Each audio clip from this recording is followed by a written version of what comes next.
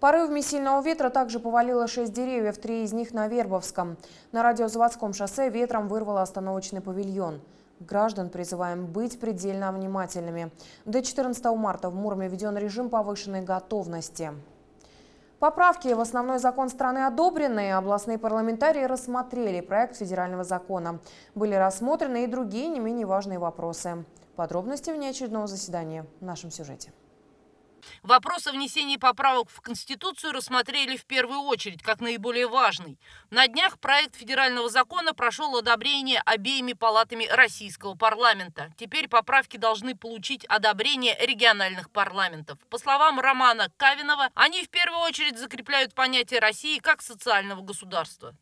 В целях защиты социальных прав граждан были предложены изменения в соответствующей статью Конституции, которыми предложено дополнить положениями, устанавливающими минимальный размер оплаты труда не ниже величины прожиточного минимума трудоспособного населения. Семейные ценности и дети, человек труда, доступная и качественная медицина, патриотизм, защита суверенитета, стабильная сбалансированная власть. Депутаты сразу нескольких фракций одобрили поправки. Многие признали, перемены в Конституции назрели.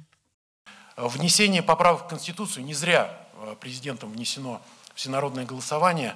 Это экзамен э, на зрелость общества для движения дальше по развитию, в том числе и демократических институтов. Э, сейчас мы должны консолидированно к этому подойти.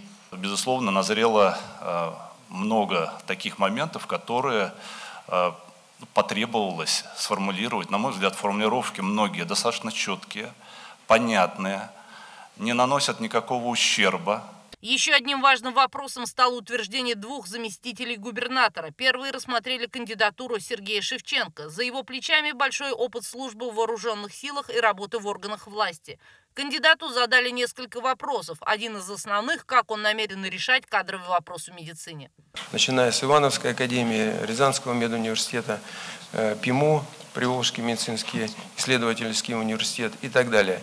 С ними сейчас подписываем со всеми соглашения – о том, что мы увеличиваем бюджетные места и как раз выходим на эти цифры. Депутаты ожидают от него наведения порядка в области здравоохранения. В своем выступлении Шевченко отметил, что в нашей области ситуация с коронавирусом под контролем. В регионе работает оперативный штаб. Все медучреждения готовы, а медицинских масок в них достаточно, около 140 тысяч. Еще будет закуплено 40 тысяч респираторов. Одобрение регионального парламента получил еще один заместитель губернатора Михаил Каратаев. Также в ходе заседания было принято решение решение о присвоении звания «Почетный гражданин Владимирской области» экс-губернатору Николаю Виноградову и художественному руководителю Владимирской капеллы мальчиков и юношей Эдуарду Маркину.